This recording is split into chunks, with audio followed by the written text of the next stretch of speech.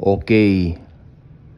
Ako po, talaga uulit-ulitin ko po ito ano. Pero ito po kanina, naisip ko ano ba yung pwede kong bitawan o salitain dito o sabihin sa inyo para patunayan na ang mga believers hindi na nila masasaksihan pa ang Antikristo.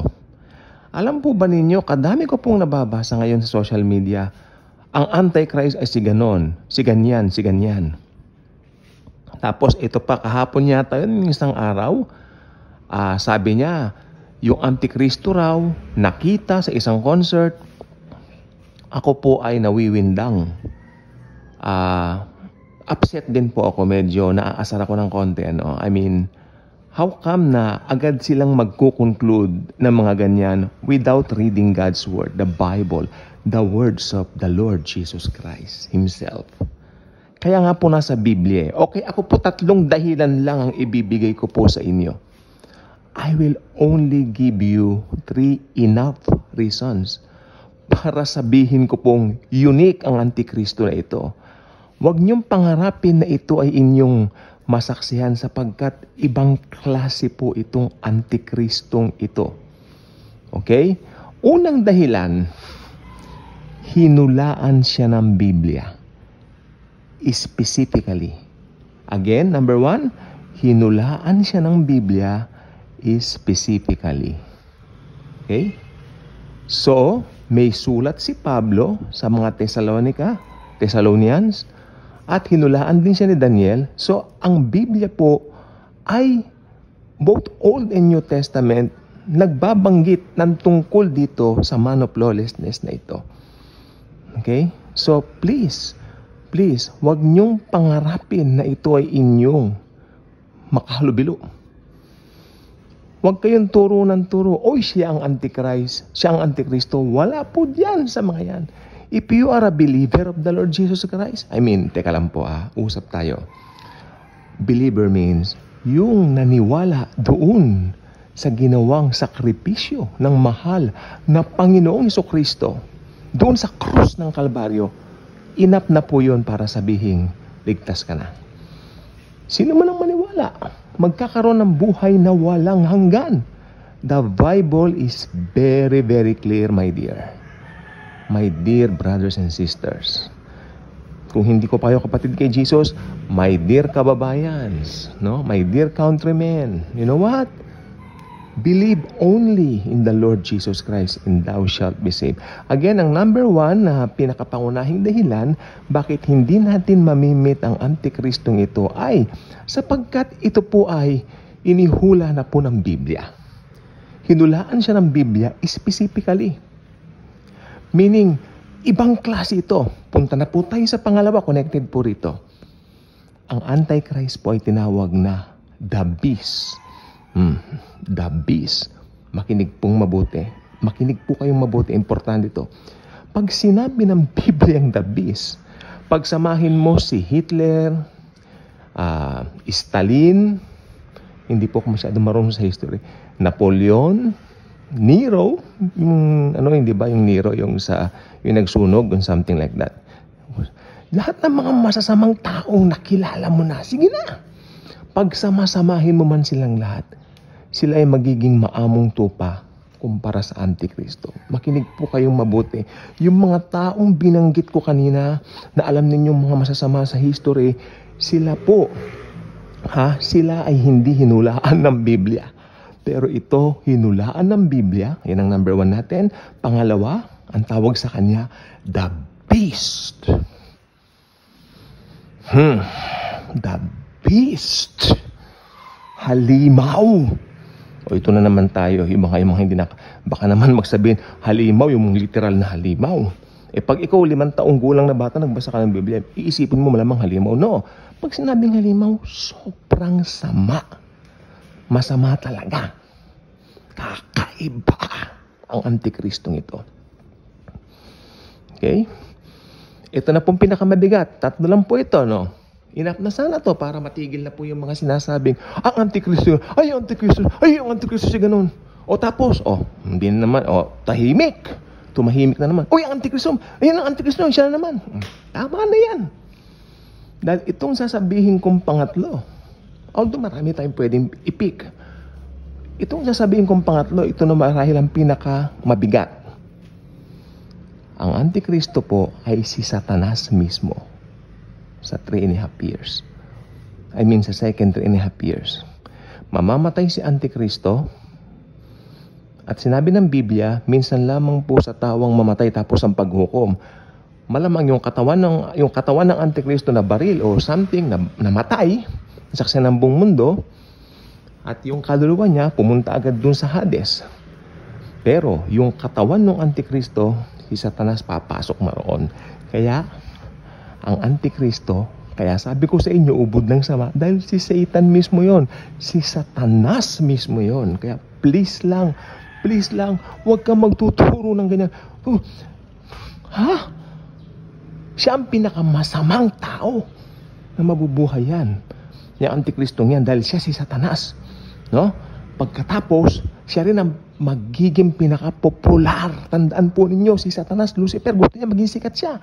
Matutupad yan sa Great Tribulation doon sa second. No? Kasi doon sa first, three and a half years, yung mismo Antikristo mismo, makikipag-peace treaty. Then yung pag ilalabas na talaga yung kulay niya, actually si Satan na po yun, nabuhay, di ba? Ang sabi ng Revelation, namangha ang lahat ng tao sapagkat nakita niya itong halimaw na ito, yung beast na ito, namatay na pero muli itong nabuhay. Okay, eh, alam naman natin sa ating mga makabagong technology ngayon, wala pong imposible. Maaring nakasatellite din nung namatay itong Antikristo. Tapos makikita nakasatellite din, pinaglalamayin, biglang nabuhay. O kaya ang mga tao, mamamangha. Kaya magre-require ang Antichrist doon sa pamamagitan ng kanyang ano, false prophet. Halimaw din po yan, pero yung halimaw na yan galing po sa kalupaan. Yung Antichrist kasi galing sa sea. Pag sinabing sea, ang uh, Antikristo po ay galing sa Europe. Ibig sabihin, isa pong hentil. No? Pero pag sinabing galing sa kalupaan, well, sa Bible, pag sinabing kalupaan, sumisignify yan sa mga tagalupa. Ibig sabihin, lupa ng Israel. So, ang false prophet po, naniniwala po ko, ang false prophet, since uh, halimaw na galing sa, sa kalupaan, ito po ay isang Hudyo. Believe me. Okay? So, mala, mahaba po kasi eh, pag, pag-aaralan natin dito. But please, stop doing Antikristo si ganon. Ay, ay, ay, Antikristo si ganon. Okay, review po natin, no? Sana kumuha kayo ng lapis at papel, ballpen at papel. Lista po ninyo to. No? Kasi anytime now, rapture na sa mga nangyayari sa current events. Okay, at least alam natin, no? Hindi tayo padadaig dun sa mga, uy, antikristo, uy, antikristo, uy, and, and, and, walang katapusan yan, ah. Okay, sige. Una, dahil ang, ano, sige nga, refresh yung memories ninyo. Number one, ang Antichrist ay hinulaan ng Biblia specifically. Ibig sabihin, wow, heavy. Di ba? Tandaan niyo si Lord Jesus Christ, may hula sa kanya. Doon sa Old Testament, bago siya naging tao. Di ba? Bago siya pumunta sa planet Earth, hinulaan na siya ng mga prophets. Ganon din ang Antikristo, hinulaan niya. Ni Daniel, di ba? Oh. Yan, hinulaan siya ng Biblia at very specific na tinawag siyang, ano, pangalawa, ito na yung pangalawang point. Ang Antichrist ay the beast. Napakasamang tao ng Antikristo. Hmm. At magiging pinaka-popular siya na tao sapagkat yung Antikristo mismo, pasok na po tayo sa batong point natin, tatlo lang po yan, yan po ay ang Diablo mismo, si Satanas mismo, ang Antikristo. Yan na. Again, uulitin ko, yung Antichrist manggagaling sa Europa. Okay? Malamang isa po siya member doon sa UN and all that, you know. Tapos, syempre, uh, makikipag-peace treaty and all that, no? So, mamamangha yung mga Israelites. No? Syempre, Europeano yan. No? Wow, ito na ang ating tagapagligtas, sasabihin nila. Kaya ang mangyayari niyan, sila ay bilib na bilib dito. Hanggang dumating yung time na maibibuild yung kanilang pinakamimithing third temple. Maitatayo po talaga yan. Why sinabi ng Biblia eh, ng Bible eh, no? So, ganun po mangyayari. Pag naitayo na yung temple na yan, sa kasagsagan yan, nag-gain na yung popularity ng Antichrist na ito. Pero mapuputol yan ng panandalian dahil ang Antikristo ay mamamatay. Hindi ko po alam kung anong klaseng pamamaraan pero definitely mamamatay ang Antikristo. Pagkatapos pag namatay ang Antikristo, syempre, aba, sa ating kapanahonan ngayon, meron na po tayong satellite, mga, ano ba yan, mga high-tech na po, mga FB Live na yan. Oh, pinaglalamayan, nakaburol, tapos biglang babangon. Wait, wait, wait. Sa pagbangon ng Antikristo, yung kaduluwa ng Antikristo nasa Hades na, nasa Hades na. Diba? Kasi sabi nga ng Biblia sa Hebrews, minsan lang sa tao ang mategi o mamatay, then ang paghuhukom. Ang sinabi doon ng Hebrew, yung paghuhukom, ibig sabihin, saan mo i-spend ang yung eternity? Since ang Antichrist na yan ay unbeliever, sa Hades po yan. Pero, yung katawan ng Antikristo, no, ito na. Si Satanas na yon. Pag bumangon, si Satanas na yon. Amen? Amen. so, excited ako. So, yan po, since alam natin yan, imposible, imposible na malinlang kayo. Ang video ito po, please, i-share ninyo. Maraming, marami po ngayon ang nalilito dyan. Kailangan nilang marinig ito. Ha? I-share niyo maawa kayo sa mga taong nalilinlang. Okay? Kaya kung hindi pa kayo subscriber sa channel na ito, I invite you to do so. Click the notification bell, share the video, share the love of the Savior, the Lord Jesus Christ.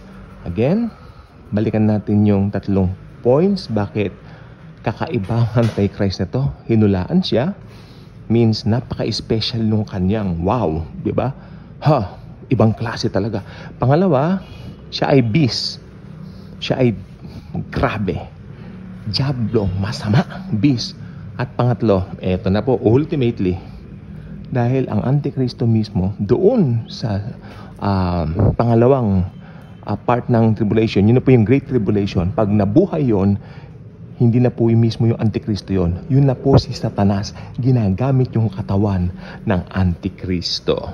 Okay? I hope, I hope i-share niyo itong video to. Ang daming magbe-benefit. At nang hindi sila nalilin lang ng kung ano-anong turo. Okay? So marami pong salamat. Naway, mar- ma- maranasan natin lalo ang pag-ibig ng Panginoong Hesus sa atin sa bawat araw. Kung gaano siya katinding umibig at magmahal sa atin. Patuloy niya tayong bless at i-bless pa araw-araw.